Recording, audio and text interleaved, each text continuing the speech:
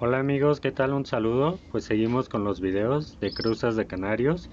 En esta ocasión tenemos un canario amarillo por un canario blanco dominante. Vamos a ver el resultado, qué es lo que nos da. Pero primero que nada los invito a que se suscriban amigos, búsquenos en YouTube como la cría del canario MX y denle en suscribir para que puedan checar todos los videos que vamos a estar subiendo sobre las cruzas de los canarios y los resultados. Pues bien amigos, vamos a pasar al, cuaderno. Aquí vamos a acomodar a nuestros canarios, como siempre lo digo. En este lado vamos a poner el blanco dominante. Dominante. Y de este lado vamos a poner el canario amarillo. Pues bien, vamos a poner XX para representar al macho, XY para representar a la hembra. Como ya lo he mencionado, el canario blanco de fondo tiene un canario amarillo y arriba tiene un blanco dominante.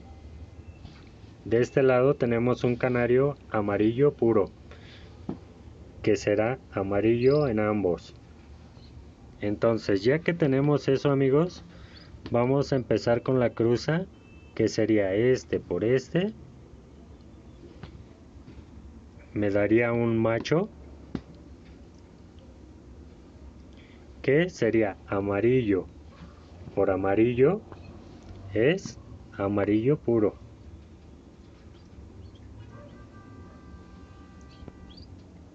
y seguimos ahora cruzamos este. Con este. Obtendríamos una hembra.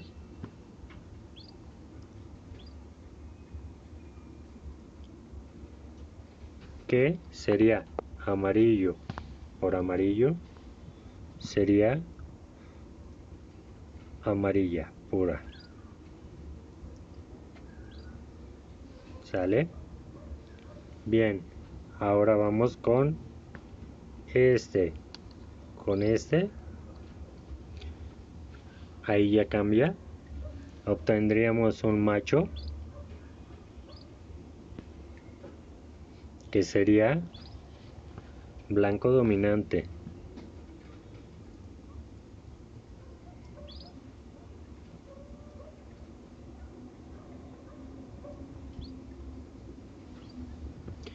Y por último cruzamos este con este.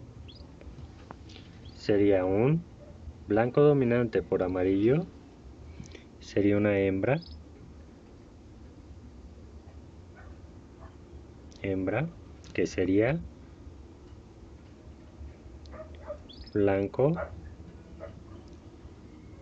dominante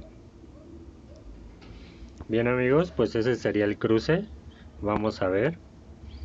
Vamos a ver que aquí de la cruza del canario amarillo por el blanco dominante obtendríamos un 50% de canarios amarillos limpios.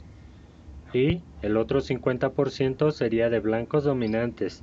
Pero el blanco dominante, el amarillo que trae de fondo, pues ese sería el tono que tenga en las alas.